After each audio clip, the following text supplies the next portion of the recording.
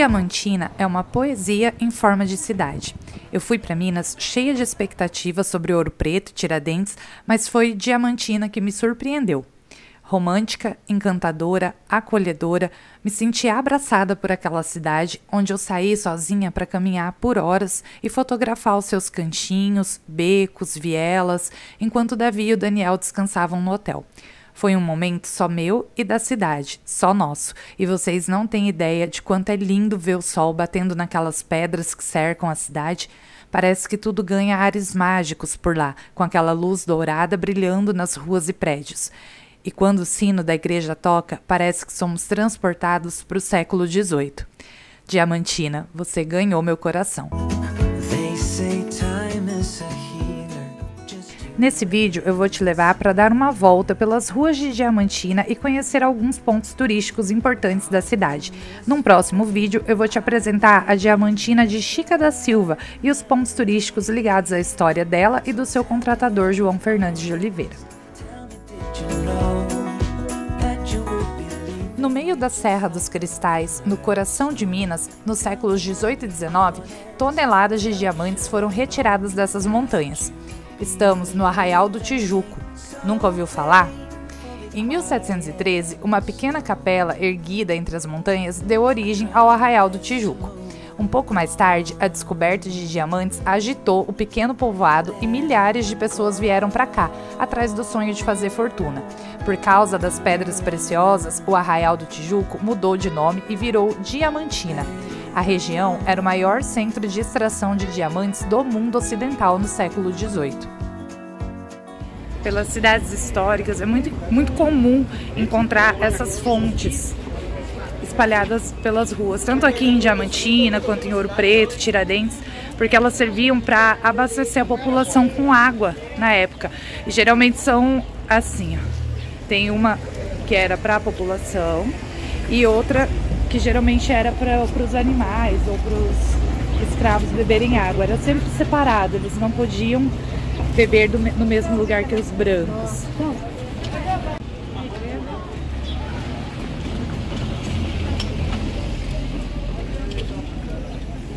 O centro do povoado se estabeleceu em torno da igreja e, em meados do século XVIII, o arraial já tinha o formato definido, com os prédios concentrados na Praça da Matriz.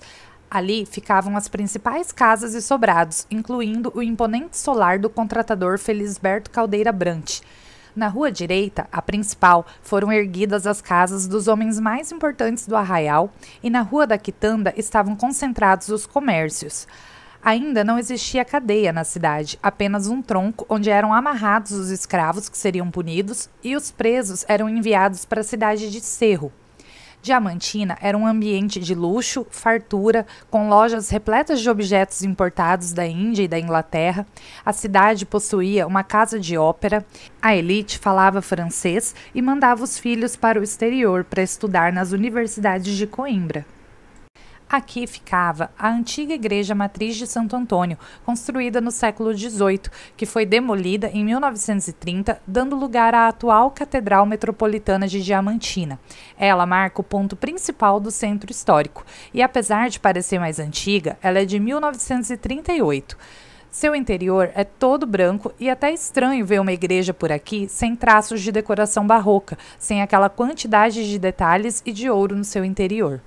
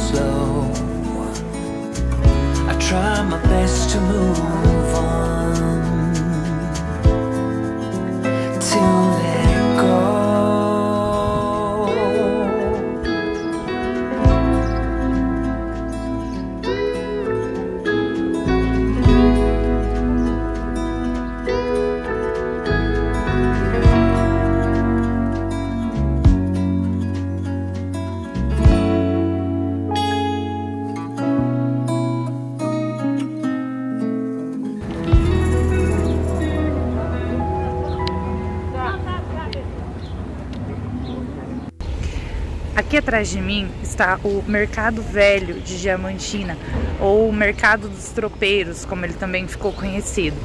Quando teve a corrida né, pelos diamantes aqui em Diamantina, quando descobriram diamantes, pedras preciosas, deu-se a mesma corrida em busca desse material precioso como foi lá em Ouro Preto. E aqui também em Diamantina, eles passaram por duas grandes epidemias de fome, porque não tinha comida para toda essa população que veio para cá. Não existiam lavouras por perto. Então era aqui no mercado dos tropeiros que as pessoas se encontravam, que vinham tropeiros de várias regiões trazendo é, vários tipos de mercadorias, né? E eles se encontravam aqui para fazer troca e venda de compra e venda de, de alimentos. Essas estacas que tem aqui no chão, ó, até hoje preservadas, é onde eles amarravam, né? As mulas, os burros, os animais que faziam o transporte dessas mercadorias. Hoje em dia, o Mercado Velho recebe todos os sábados pela manhã a feira da cidade. São vendidas comidas tradicionais, peças em tapeçaria, artesanatos e outros produtos típicos de Minas. É um bom passeio para conhecer mais sobre os sabores de Diamantina. À noite, a feira muda um pouco de cara e o espaço é dedicado à venda de pratos típicos regados a cachaça e música ao vivo.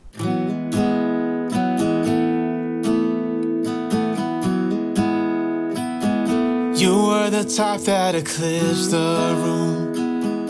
I was the one who arrived too soon. But no one would ever bet against us. If they saw us exchanging glances, I was too busy to fall in love. You were too busy to break my heart.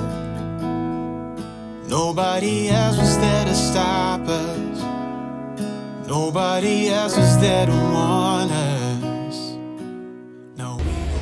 Aqui no Mercado Velho, até hoje ainda existem feirinhas de artesanato, doces, rendas, geleias. Hoje não está funcionando, geralmente é de manhã, mas tem os dias da semana certos para isso. Mas aqui, por aqui ainda é possível encontrar nas lojinhas, né, nos arredores do mercado e até aqui mesmo na praça, ó, aqui atrás de mim tem umas flores, ó, estão sendo vendidas, mas é sempre um, um, lugar legal de se visitar, até pela importância histórica né, que teve aqui para a cidade também.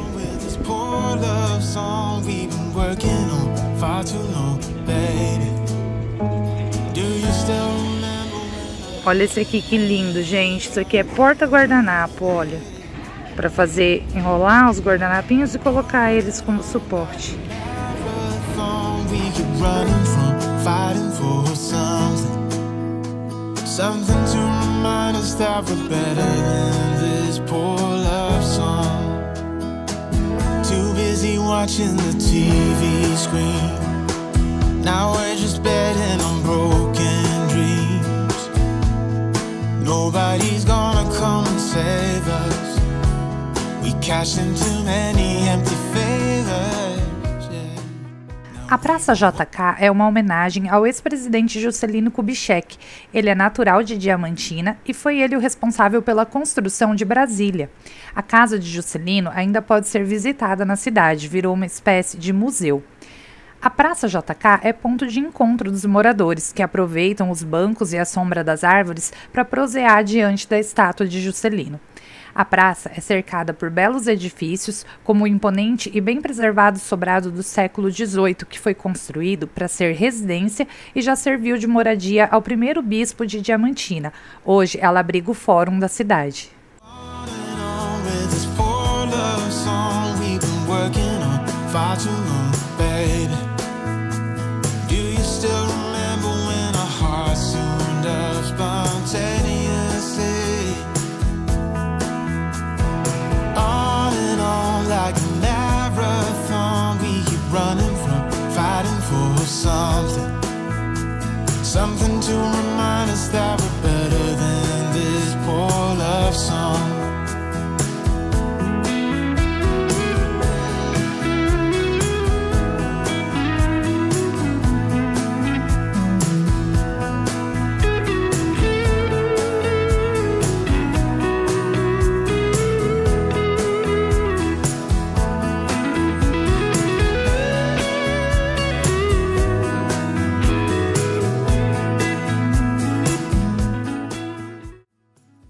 Prédio amarelo no final da rua é o Hotel Canto do Chafariz. O hotel foi um espetáculo à parte. A arquitetura, a decoração, a localização, era tudo perfeito por lá. O atendimento impecável, a vista da janela do quarto e o café da manhã de rainha que eu tinha por lá me deixavam sempre com o coração dividido, sem saber o que era mais gostoso de se fazer: ficar no hotel ou passear pela cidade. O hotel fica pertinho dos principais pontos turísticos, tanto que nos dois dias que ficamos na cidade, o nosso carro ficou estacionado e fizemos tudo a pé por lá. Ah, como eu queria que os dias fossem mais compridos para aproveitar a Diamantina.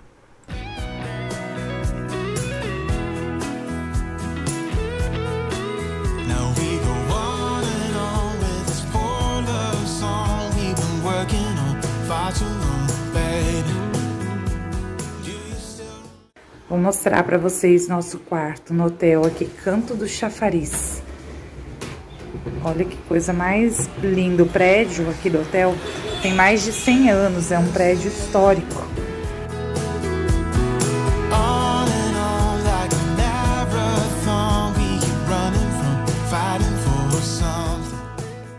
E olha a vista que a gente tem aqui da janela. Ali é a Serra dos Cristais.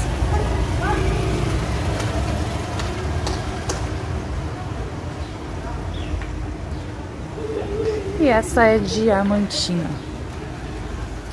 Tem um chafariz aqui ao lado. E aqui em cima tem uma igreja. Bem do ladinho aqui do hotel.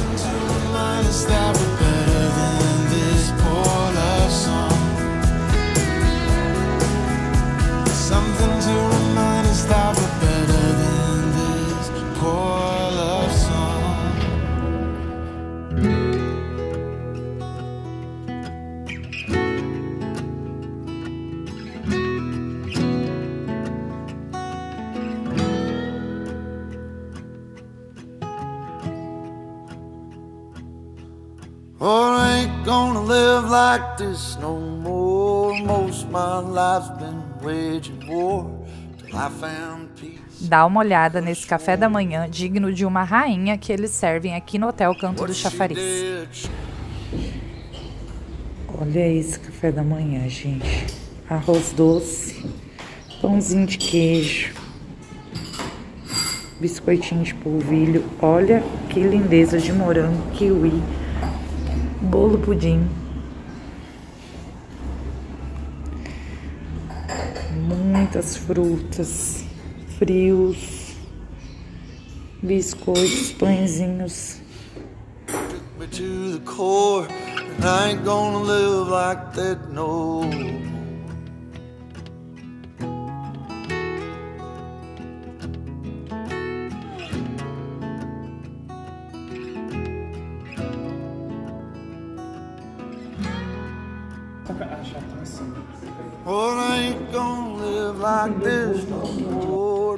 Trouble comes when the barmaid pours another for a man who should have found the door. Para quem gosta do conforto do bom e velho chinelo, essa loja aqui, ó, pé livre, bem em frente ao hotel do Canto de Chafariz, gente. Tem uma infinidade aqui, ó, de opções. E todas as marcas eles têm Ipanema, Havaianas, tudo que você imaginar. E um mais bonito que o outro, ó. Infantil, feminino,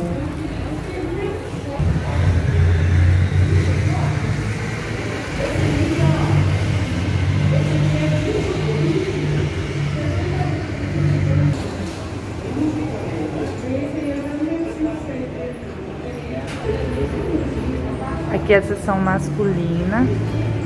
Tem muito modelo, gente, muita opção.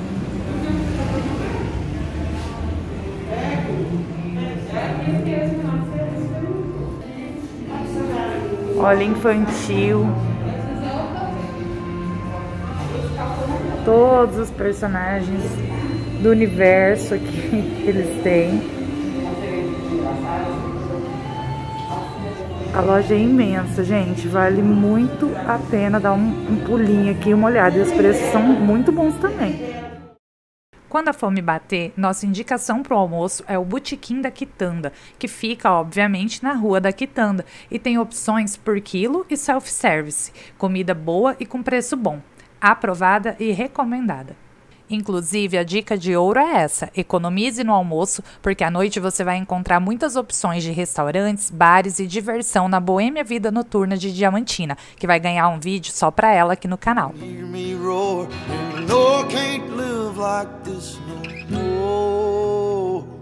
Olha a cara da sofrência. Bora, galera, queimar os risotos. A ladeirona.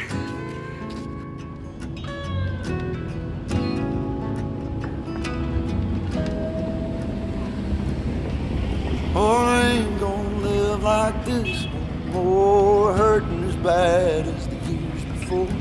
O cartão postal da cidade, a Casa da Glória, tem construção colonial e é composta por dois casarões interligados por um belo passadiço de madeira. A obra é uma viagem no tempo. O primeiro prédio foi construído no século XVIII e era de propriedade de Josefa Maria da Glória, que deu nome à edificação. Mais tarde, a casa passou às mãos das irmãs de São Vicente de Paula e começou a funcionar como educandário. O edifício vizinho, construído no século XIX, funcionava como uma casa de jogos e também foi adquirida pela Irmandade para se tornar um orfanato. De posse dos dois prédios, as religiosas mandaram construir a bela passagem que interliga os dois. Hoje, os prédios, restaurados e abertos para visitação, abrigam o Instituto de Geociências da UFMG. No local estão em exposição objetos de época, mobiliários e obras de arte sacra. Além de circular entre os cômodos, você pode atravessar o histórico passadiço de madeira por dentro. I had to cut ties settle the score. I ain't gonna live like this no more.